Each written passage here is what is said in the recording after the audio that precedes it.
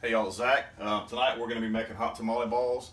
Real good appetizer if you need something to take to a party, or what we do, we put on uh, French bread, make uh, hot tamale po' boys out of it. So I'm going to go ahead and explain what you're going to need, and then I'll mix it up and I'll get back to you. So we've got about a little over a pound of uh, ground beef. I've got some hot Italian sausage, about a pound of that. I've got one teaspoon of cayenne pepper and paprika. I've got two teaspoons of salt and garlic powder. I've got two tablespoons of tomato sauce and enchilada sauce. All right. I've got an eighth of a cup of cumin and a half a cup of hot chili sauce. And then I've got a half a cup of all-purpose flour and a cup and a half of cornmeal. So last but not least, I've got Lipton onion soup mix and one pack of taco seasoning. So what I'm gonna do is I'm gonna mix it all together and I'll form into little golf ball size uh, meatballs and I'll be back to show you do next. I've got all the meat and spices mixed together and I've got them formed into little balls about like golf ball size meatballs. Take a look at that. All right, so now I've got to make my the sauce, the hot tamale sauce to go on top of it. So I've got three cups of chicken broth. All right, to that I'm gonna add this can of enchilada sauce. Now remember I took a little bit out of it too. Um, a little bit out to mix in with the meatballs.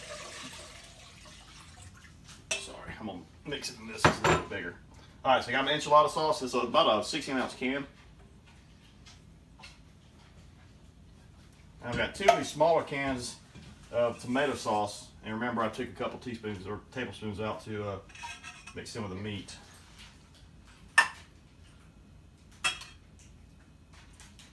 All right, I've got two tablespoons of the hot chili sauce. If you don't have this, I forgot to mention earlier, if you don't have this, you can use chili powder. So I'm not gonna measure, I'm just gonna squirt it in there. All right.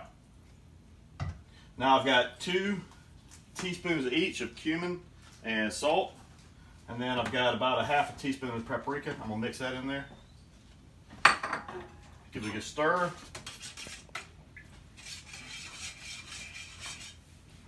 All right. Now we'll pour all this into my Instant Pot on top of, move my beer, on top of my meatballs.